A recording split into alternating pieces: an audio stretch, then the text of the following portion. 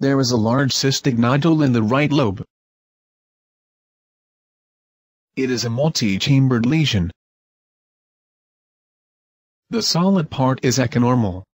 The patient underwent ethanol sclerotherapy.